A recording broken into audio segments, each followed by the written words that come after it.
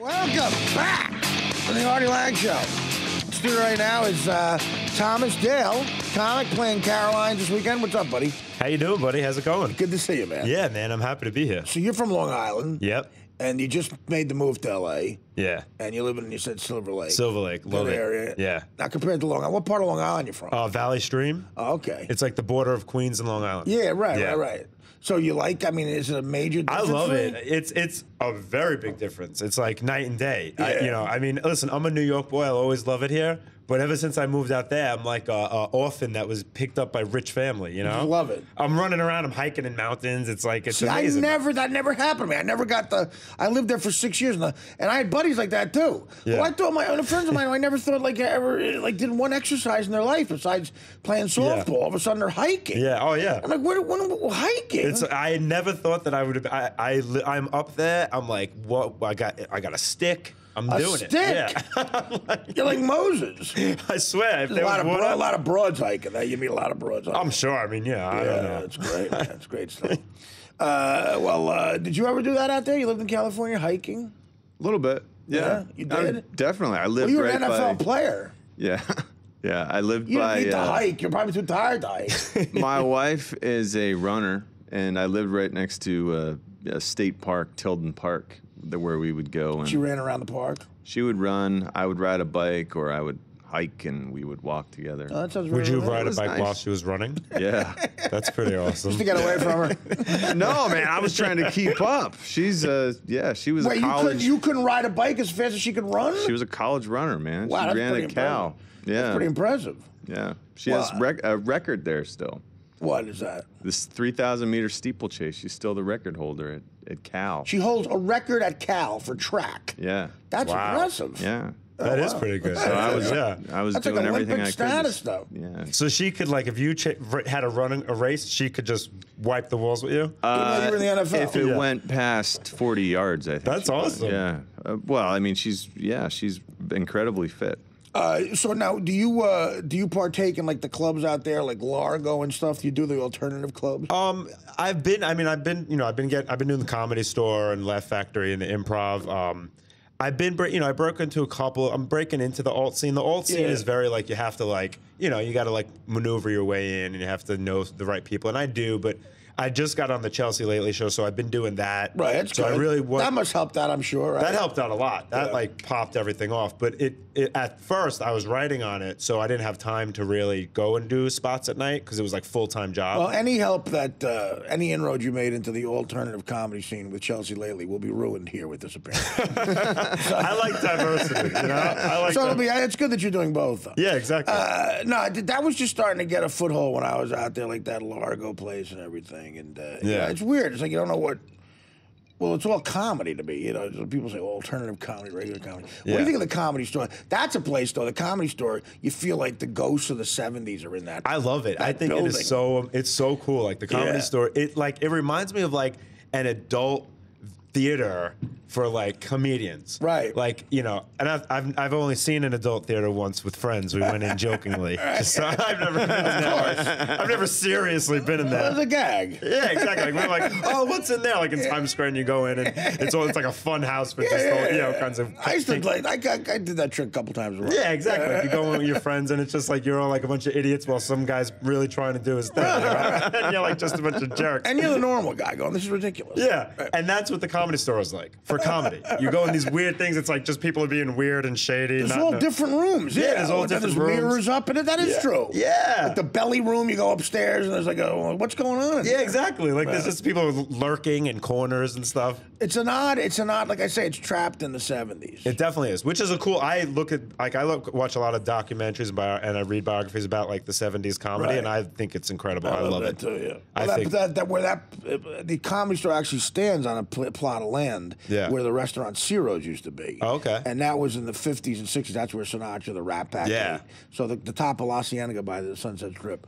Uh, so it's like a legendary plot of land. you know? Yeah. That's Well, apparently they had like hands in like like Jamie, the booker at Laugh Factory. Apparently he had like some- yeah. yeah, exactly, like some doings with like Sinatra and all them. Oh yeah, he's a connected guy. Yeah, well, he yeah. owns a Laugh Factory, and he's he's got great stories. Yeah. Well, Jamie's the guy who introduced, you know, the, the kid who sued Michael Jackson for twenty million dollars. Okay. molestation thing. Right, right, right. Jamie introduced that kid to Michael Jackson. Get out of here! Jamie went on like a publicity tour because of it. That's amazing. Because I'm the guy who introduced him. Yeah. He used to do a thing called comedy for cancer kids or something. I've heard of that before. Yeah, Yeah. and uh, and uh, the Laugh Factory comics would uh, do stand up for these kids and Yeah. teach the kids how to do stand up, and celebrities would show up.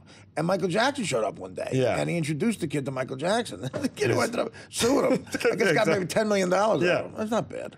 Touch me. Ten million dollars. What now? Uh, so, what's your goal though? You want to be like on a sitcom and Oh everything? yeah, I mean, my goal is like, I mean, I want to do stand up, you know, forever. I want to be able to just sell out, you know, um, comedy clubs and tour and do all that. But I would love to have a sitcom, have my own show, and then you know do movies and stuff. But I want people to see, know that they're coming to see like Thomas Dale, like. Like Yeah. Richard Pryor, they went to go see Richard Pryor or you. Like they know that it's you. Right, They're gonna get that in the movie. You want a connection? Yeah, exactly. Like there's that you're the persona. So Right, that's right, what right. I want to do, and that's what I'm going to be with my career. You got to connect with the crowd. That's the most. yeah, fun. exactly. Like you're Yeah. giving yourself to them. Yeah, the, the Bocchetti there is doing the same thing. Bocchetti's going out there. Now, Mike, do you think you could hook up with Thomas out there? Uh, Thomas is very nice. Actually, we have a couple of mutual friends. Yeah, yeah. Actually, yeah. Joel, yeah, Joel Richardson. So, Todd, do you uh, do you plan on just? Uh, I mean, we could take this as a commitment. Then when Mike goes out there, you'll drive him around. Oh yeah, let's do it. Hey, buddy. You're cool. You're from Long Island is awesome too. I love it out there. I think you're from Jim Breuer's part of, of uh, Long Island. Actually, Jim Breuer went to my high school. There you go, Valley Oh, wow. Stream, Gra- right? yeah, he went. To, I went to Valley Stream Central. He went to my high school. We're so- looking for someone to actually drive Mike around. You don't do laundry. You don't do his laundry. Do you know No, I don't do who would? laundry. I hardly do my own. But Well, what about that now? Do you know any places? Now, Mike, what about fluff and fold for laundry? Sounds good. You know, whatever. It costs some money, but who cares? It's not that spend much money. cash. Yeah, you're making big dough now.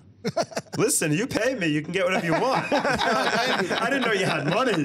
Now it's a different story. Hey, listen, he doesn't even know what a cashier's check is. All right. uh, yeah, he's going out I there. think a lot of people don't. No, Mike. Everybody, everybody over the age of fifteen, I guarantee, knows what a cashier's Yeah, check. is. Yeah, pretty sure. Do you think a lot of people don't know what a cashier's check Well, is? I know what cash is, of course, a money order, a check. I just, you know, I heard of it, but I never dealt with one.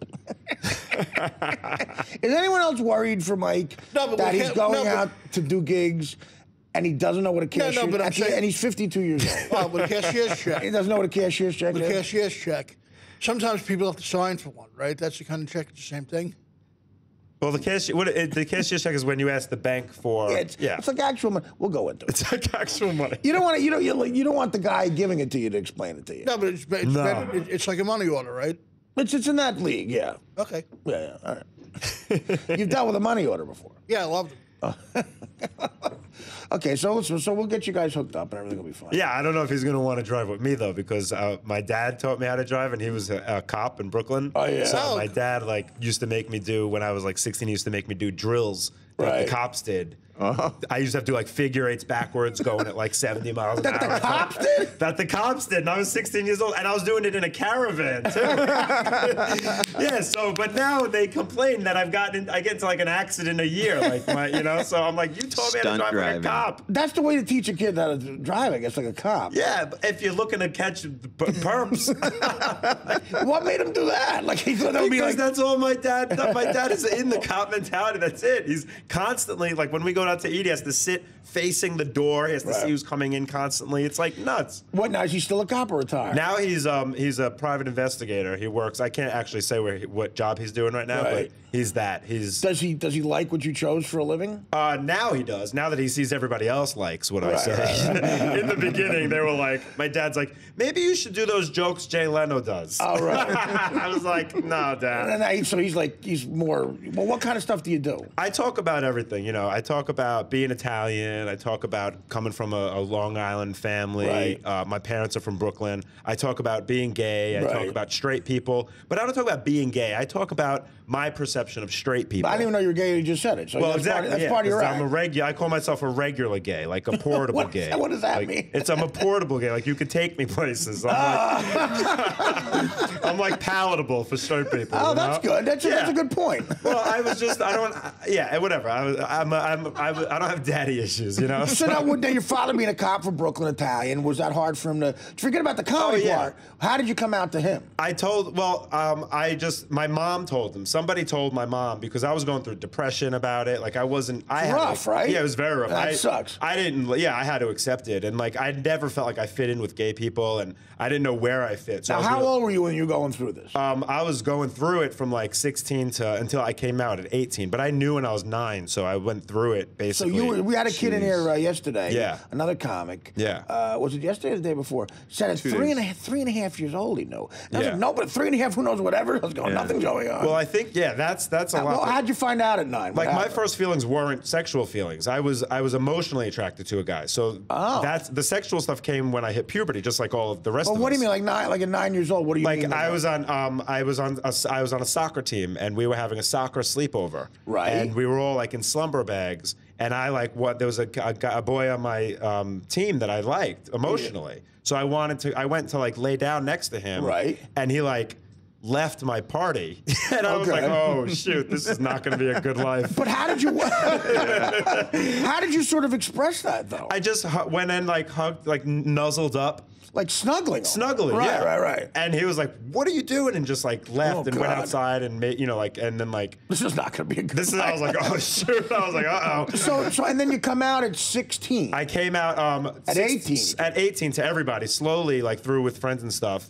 Um, I always had girlfriends. I was homecoming king. Did you lose your virginity to a girl?